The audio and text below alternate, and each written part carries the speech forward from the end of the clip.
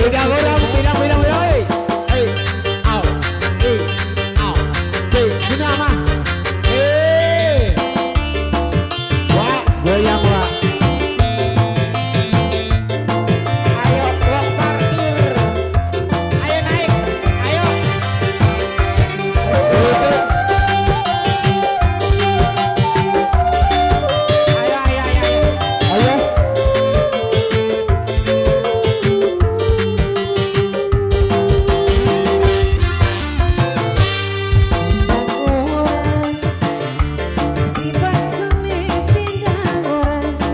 madura.